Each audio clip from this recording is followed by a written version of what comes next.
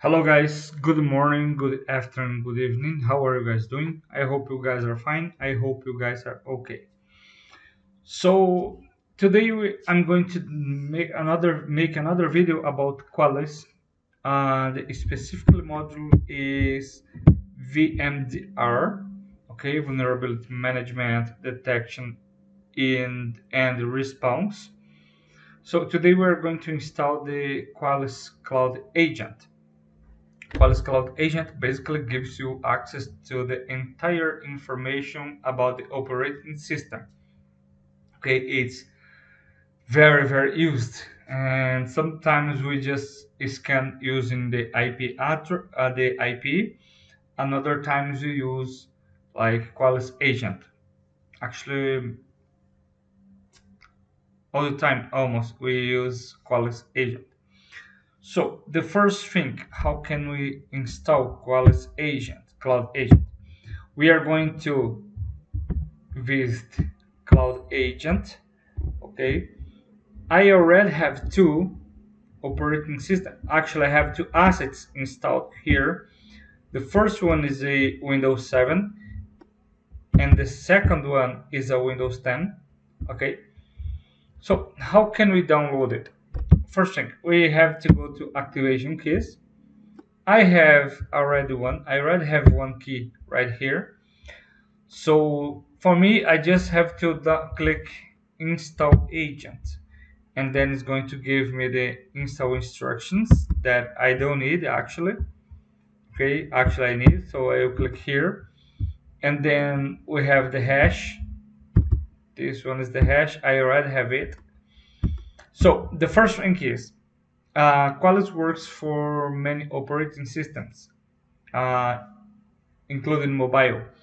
So we can install on Windows, okay? And then here we have some requirements. Uh, check the supported versions. Actually, it supports from Windows 7 to Windows Server 2022.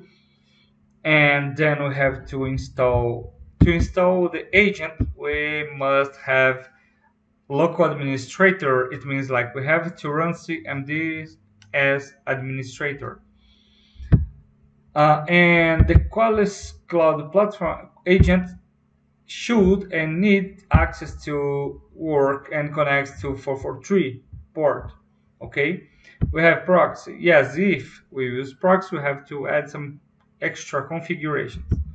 So steps to ins install Cloud Agent. Basically, you are going to copy this, okay, and then you are going to download, download the exe. Right here, we have an example of how we should install Qualys Agent.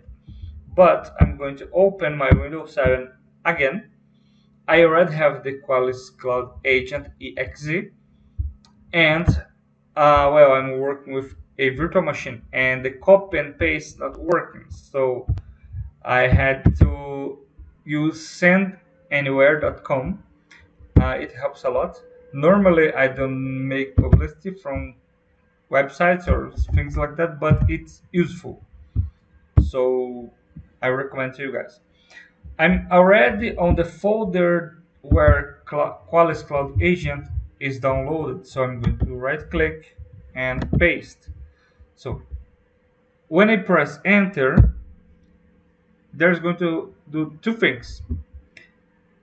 Well, on this machine, Cloud Agent is already installed, as I told you guys. But normally it's going to give you Qualys Agent was installation was successfully uh, Cloud Agent was successfully installed let me see here on my Windows 10 if I have this message.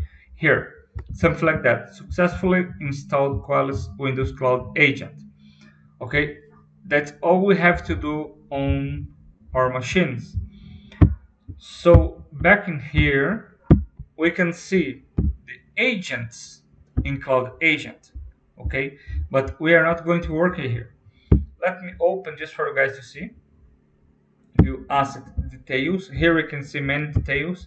we can see country we can see the version the building version we can see many things the if it's running on VMware what kind of virtualization it's using DNS host name FQDN NetBIOS name IP address before uh, the system information all the information we we need is here okay and then here the services that are running or stopped all the services okay?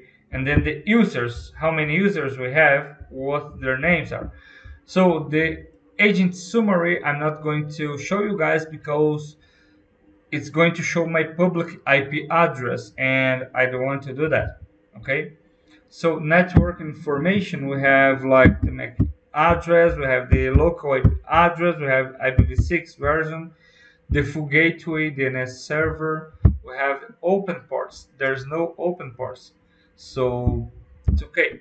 Uh, so so installed software we have like the standards from windows so there's not going to show. Now he, this is an important thing. Vulnerabilities. Okay?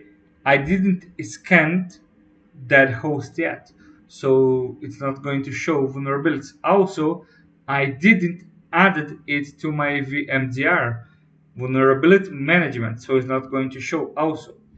Okay so compliance. Uh, there's a very nice module compliance and alert notifications patch management. We could uh, manage all the patches here install of them all of them.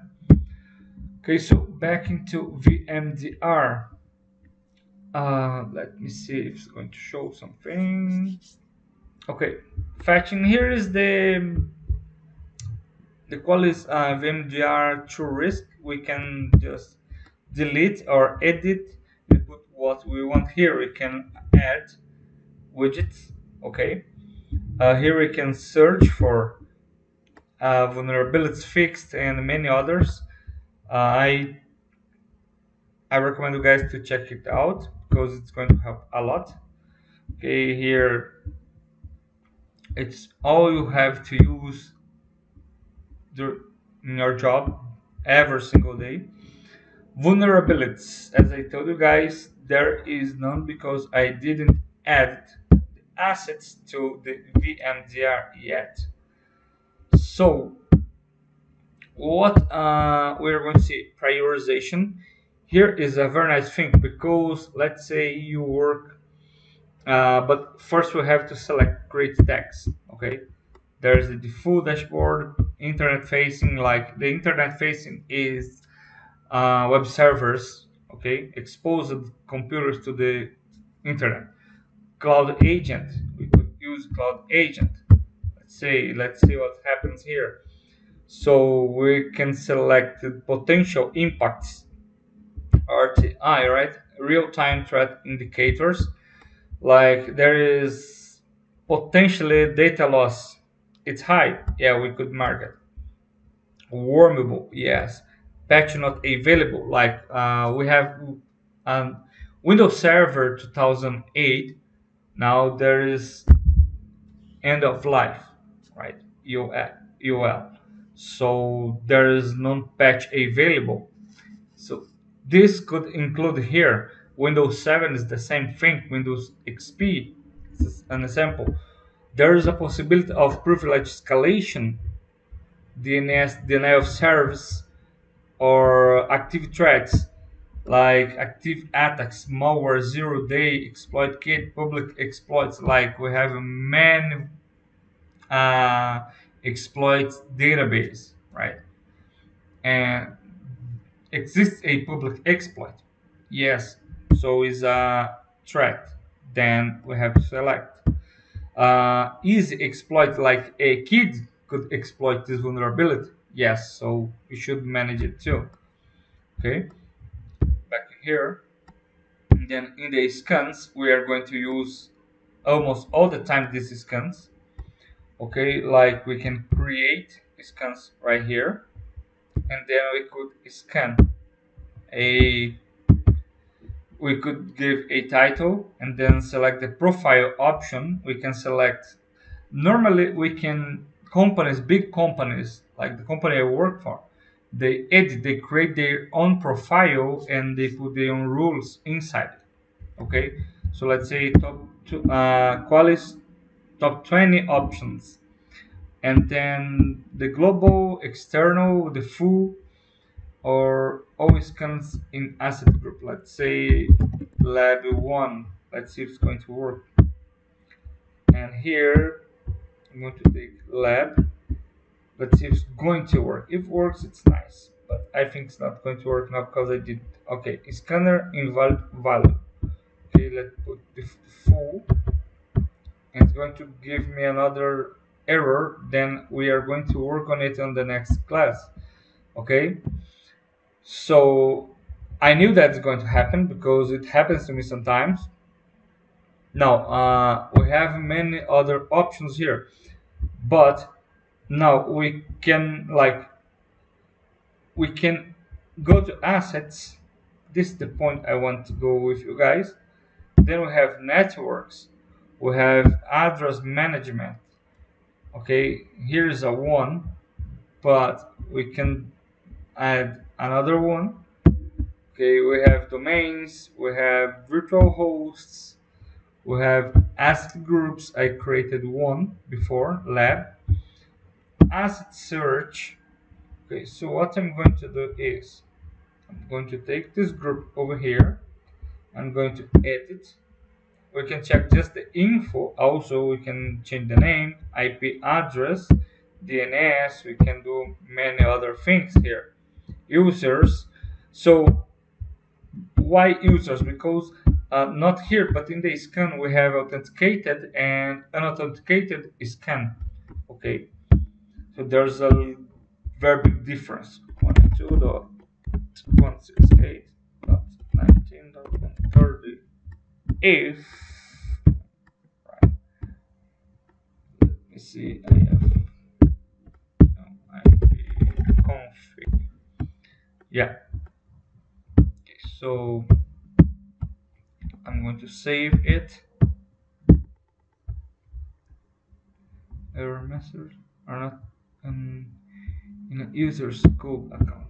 Okay so we're going to see all this later okay and probably there's some limitations also because of so here in asset search we can search for a specific IP address or we can select an asset group like lab okay and then we can using the tracking mode to IP address DNS hostname NetBIOS hostname cloud agent is that one I'm going to use and then I'm going to search.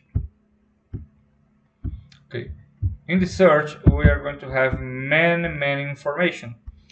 So I'm going to click here and look we have all the information. We use cloud agent as tag and the lab that's as the group name and then we have other informations like we have comments we have vulnerabilities that it's it's loading let's see if it's going to find something tickets the tickets that are opened with this host.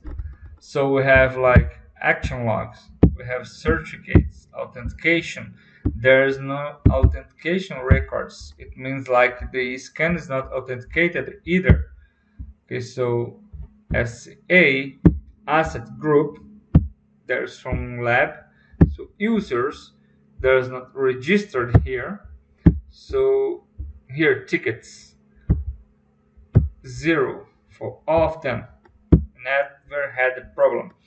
Now, here we have also vulnerability zero, potential vulnerability zero, information gathered zero. Because uh, first, there's nothing running, but still there's uh, updates to install, and there's possible possible two or three parts I opened so in the next class, we are going to start working really to manage, to check, to scan vulnerabilities on that target. targets, okay? So thanks a lot guys and If you liked this video, give me a like. If you are not subscribed, subscribe to my channel. And well, that's all. See you guys in the next video.